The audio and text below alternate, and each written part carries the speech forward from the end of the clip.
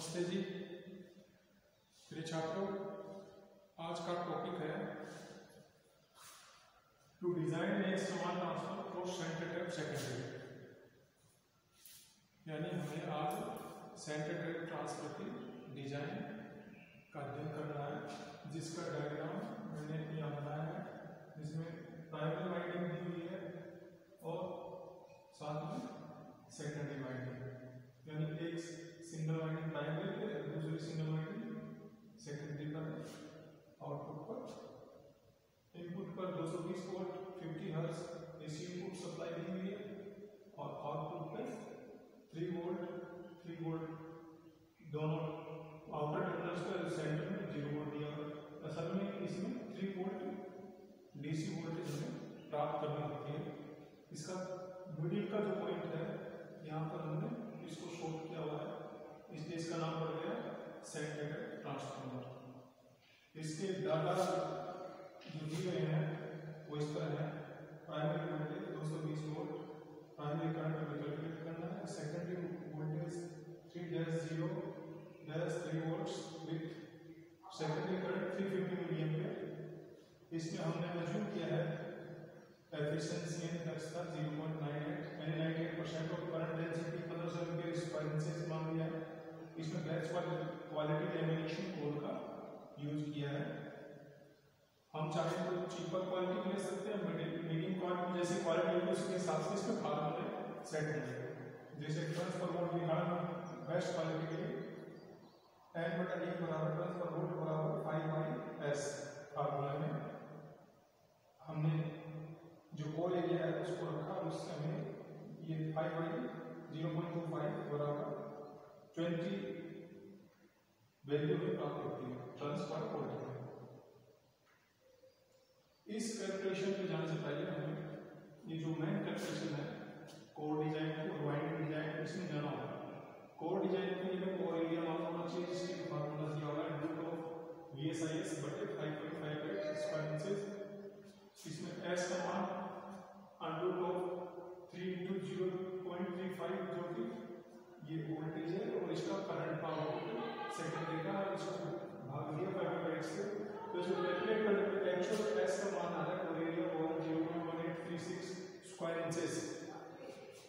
इसका क्रॉस कोएरिया निकालने के लिए हमें दूसरा फार्मूला करना होगा एस बराबर एस बटा केएस ये केएस का मान 0.92 स्टैकिंग फैक्टर कहलाता है। जब हम लेमिनेशन को वन बाय वन सेट करते जाते हैं तो ये बीच में ये पता चाहिए कि हमको कि जो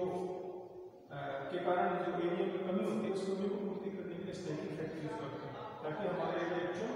कोर का वो कुछ मात्रा में बढ़ जाए। तो हमें इस कैलकुलेशन करते हैं, इसका मान ज़ीरो पॉइंट अठारह sorry zero point one eight three six रख के बटे में zero point nine equal to की कैलकुलेशन में zero point two zero four point six काम होता है लेमिनेशन लेवल पर इसको अगर देखते हैं, इसी क्रॉस क्वेरी वैल्यू को तो उससे संबंधित जो कंसर्न वोपिंग के नंबर मिलते हैं, वो सेवन नंबर है उस कंसर्न विंडो एरिया में तो 0.1875 स्क्वायर इंचेस और एक्चुअल कोर एरिया इसका मिलता है 0.25 स्क्वायर इंचेस जबकि हमें कैलकुलेट किया 0.20 उस पे कैलकुलेट हमने एक्चुअल जो मान है इस वोपिंग नंबर या कोर नंबर सेवन के लिए 0.25 है और उससे कंसर्न विंडो एरिया ये 0.18 स्क्वायर इंचेस इस सेंटर डायमेंशन निकालने के लिए अंडर रूट एस जी लिया गया और इसका मान रखा है, ये मान यहाँ पर अंडर में zero point two five under निकालने पर zero point five inch centre dimension प्राप्त होती जो कि सेंटर भुजा होती है? ई लेमिनेशन को। वाइंडिंग डिज़ाइन करने के लिए। हमें total winding space area calculate करना होगा, जिसका formula one one five in bracket AB plus S इससे पहले, हमें थोड़ा इधर देख लेते हैं इससे पहले, हमें प्राइमरी टर्न्स और सेकेंडरी टर्न्स कैलकुलेट कर देंगे प्राइमरी टर्न्स कैलकुलेट करने के लिए हमें फार्मूला है VP multiply turns per volt उनकी वैल्यू जबकि ट्रांसफ़र वोल्ट की ट्वेंटी और वोल्टेज में मिली दो सौ बीस तो आ गया बराबर है चौवालीस सौ टन्स सेकेंडरी टन्स के लिए one point one into B S into turns per volt से गुणा किया। ये वैल्यूज़ बी एस का मान रखा यहाँ थ्री वोल्ट था ट्रांस पर वोल्ट से ट्वेंटी और वन पॉइंट वन से गुणा किया तो आ गया सिक्सटी सिक्स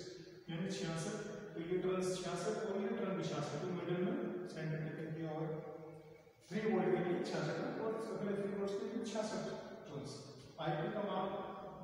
एफिशिएंसी का सूत्र है आउटपुट पावर बटे इनपुट पावर को सूत्र से हमने आई का मान निकाला है। आई पी बराबर बी एस आई एस बटे एफिशिएंसी डी पी बराबर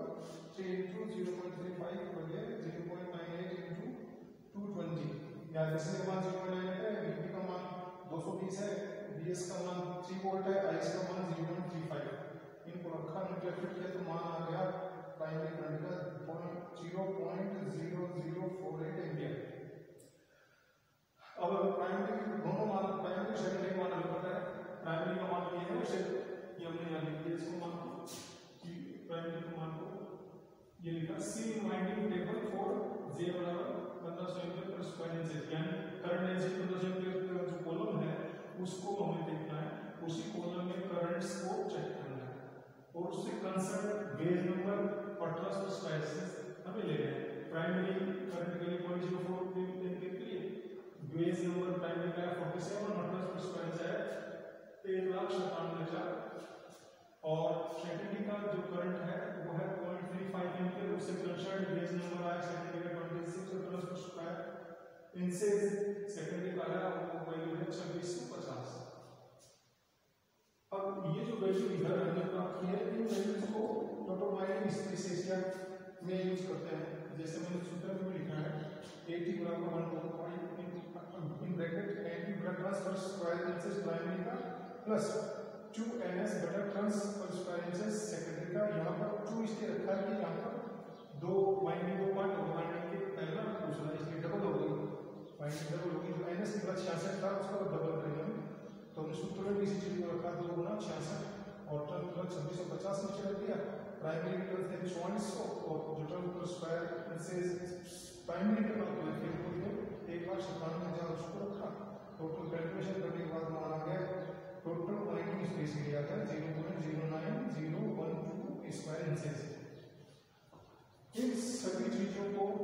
कैलकुलेट जो लिखा उसको रिज़ल्ट में ले जाते हैं. और रिज़ल्ट में रखते हैं. रिज़ल्ट और नंबर और नंबर सेम रखते हैं. वो सेवन था. जो हमने सेवन रखा है. विंडो जो हमने प्राप्त किया था ये यहाँ पर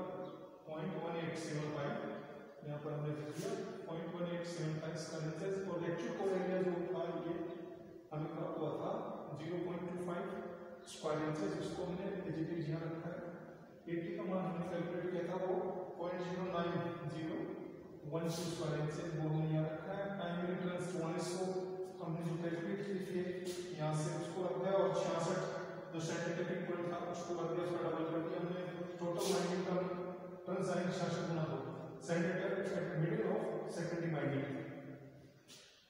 जो छियासठ नंबर का पॉइंट होगा छियासठ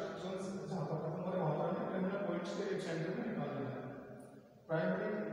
पॉइंट के लिए बेस नंबर है फोर्टी सेवन सेकेंडरी के लिए बेस नंबर होगा ट्वेंटी सिक्स जो कि हम ये निकाल सकते हैं, यहाँ पर फोर्टी सेवन और ट्वेंटी सिक्स ये दोनों। अब इन दोनों का